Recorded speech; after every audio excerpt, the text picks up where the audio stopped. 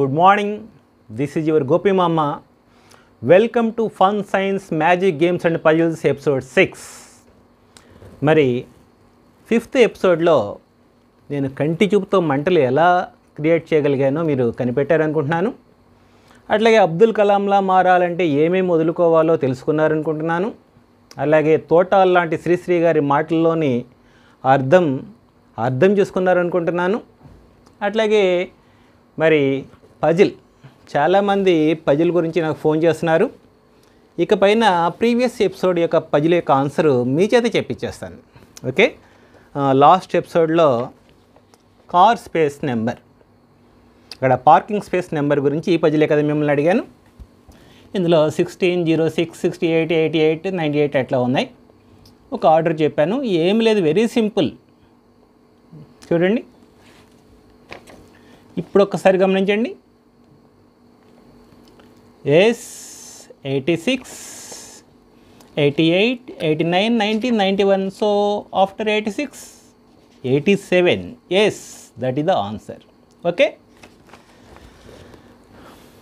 Right మరి ఈరోజు మన సైన్స్ ట్రిక్ మరి జనరల్గా పుట్టుకతోటే ఎవరు కూడా చెడ్డవారుగా మంచివారుగా గొప్పవాడిగా దుర్మార్గుడిగా మహాత్ముడిగా పుట్టరు కదా? అందరూ కూడా పుట్టుకతో అందరూ సమానమే. వాటిలో వాళ్ళ మనసు ట్యాబ్యులా ఆశ అంటే ఏమీ వ్రాయబడిన నల్లబల్లలా ఉంటుందట.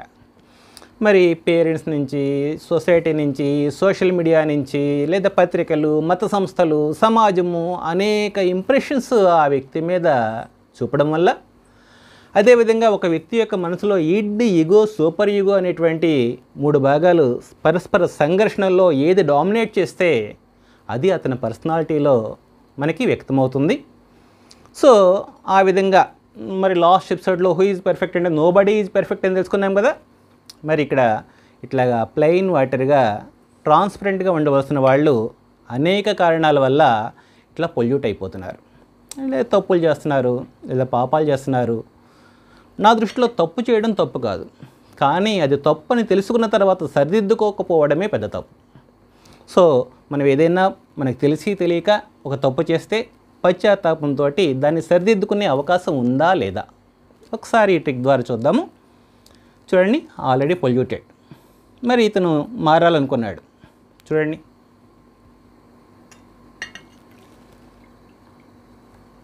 ఎస్ చూసారా?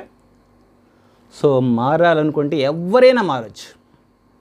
సో మనం తెలిసి తెలియక చేసిన పొరపాట్లు సరి చేసుకుంటూ మనల్ని మనం కరెక్ట్ చేసుకుంటూ పెర్ఫెక్షన్ వైపు ప్రయాణిద్దాం. ఇది మన science trick okay next magic trick మరి సరదాగా ఇంతకుముందు ఎవరో ప్రతి ఇంట్లోనూ కూడా మూడు మిషన్స్ ఉంటాయంట. మొదటి మిషన్ ఏమో money making mission daddy father second mission material making mission. అమ్మ మదర్. మరి పిల్లలు ఎవరు వాళ్ళు కూడా మిషన్సేనంట. వాళ్ళేమో marks or grades making missions అంట ఎందుకంటే అందరూ యంత్రాల్లాగా. ఇంతకు ముందులాగా అందరూ కూడా కూర్చొని కబుర్లు చెప్పుకోవడం అందరూ కలిసి భోజనం చేసుకో భోజనం చేయడం ఇవన్నీ అవుట్డేటెడ్ అయిపోయినాయి. ఎవరు సెల్ ఫోన్ పట్టుకొని వాళ్ళు వాళ్ళ గదిలో చాటింగు అవన్నీ కూడా ఫేస్బుక్ ఇవే కదా. సో మై డియర్ ఫ్రెండ్స్ మరి నా దగ్గర కూడా ఒక మిషన్ ఉంది. ఆ మనీ మేకింగ్ మిషన్. చూడండి ఇందులో ఏమన్నా ఉందా? అని కనిపిస్తుందా మీకు? రైట్. మరి చూడండి. వైట్ పేపర్ ఈ వైట్ పేపర్ని ఇందులో పెడితే కరెన్సీ నోట్స్ వస్తాయి. ఎవరికి చెప్పండి? చూడండి ఒకసారి. జాగ్రత్తగా గమనించండి. వైట్ పేపర్ ఇన్సర్ట్ చేస్తున్నాను. ఇటువైపు ఏమన్నా వస్తుందేమో చూడండి.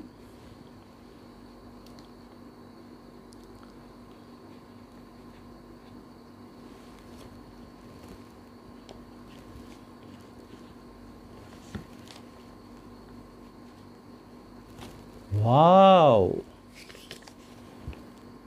Two thousand rupees note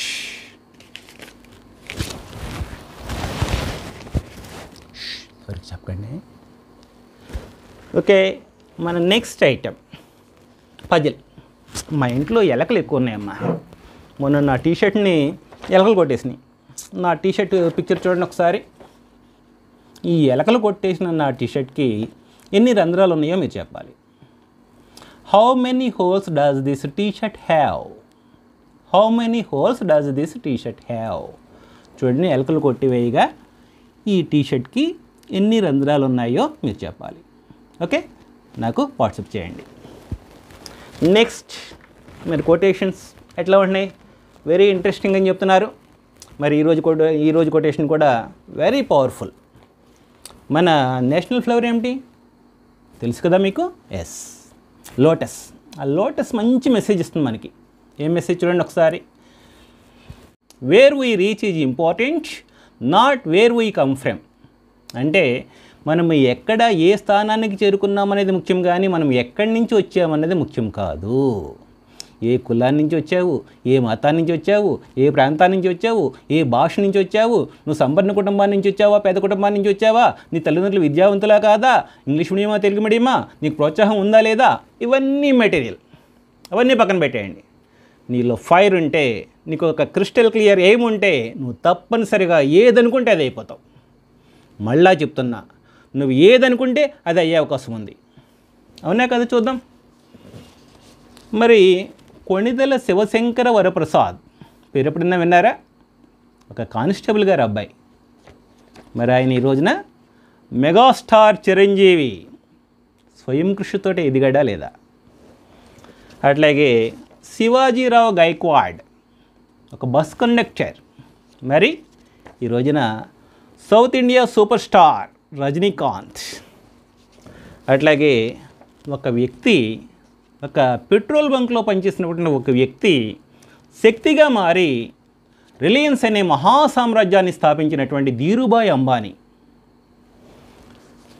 అట్లాగే ఒక రైల్వేలో టికెట్ కలెక్టర్ మరి Indian cricket icon MS Dhoni వీళ్ళందరూ కూడా ఒక లైఫ్ టైంలోనే వాళ్ళ ఎయిమ్ రీచ్ అయ్యారా లేదా?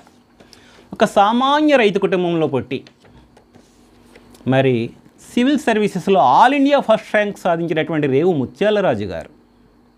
వీళ్ళందరూ కూడా సాధించగా మీరెందుకు సాధించలేరు? మీ స్టోరీ మీ తర్వాత తరాలకి ఎట్లాంటి సక్సెస్ స్టోరీ కావాలి. సో తప్పనిసరిగా మీరు ఏదనుకుంటే అది అయిపోతారు. కానీ దానికి తగిన కృషి పట్టుదల ఉండాలి. ప్రతి క్షణం మీ లక్ష్యం మీ మనసులో ఉండాలి. సో తప్పనిసరిగా మీ ఏం రీచ్ అవుతారని ఆశిస్తూ ఆల్ ది బెస్ట్. మీ గోపి మామ